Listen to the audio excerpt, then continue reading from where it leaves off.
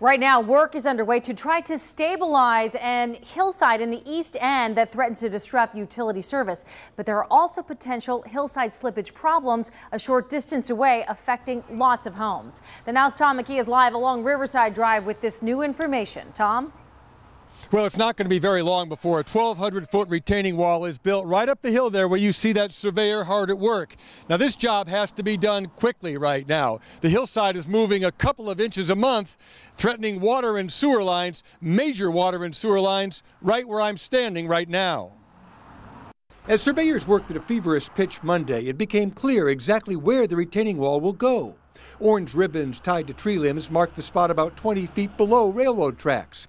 That's the area outlined here in red between Hazen and Bant Streets. Heavy construction equipment will move in very soon to begin digging four foot diameter piers. It will go all the way down and get socketed into the rock, and it will be six foot on center. So it's a pretty massive wall. Uh, it will have a pier cap on top that will be anchored back into the rock, so that will stabilize everything. It's water and sewer lines servicing downtown that the city is trying to protect. These emergency concerns relate to critical water and sewer infrastructure. We are aware of no immediate risk to residents, pedestrians, or vehicles at this time. But 200 yards away at Riverfront Terrace, there's a lot of damage to homes, possibly from hillside movement. Driveways are pulling away from the houses. Cracks are showing in foundations. Foundations are shifting.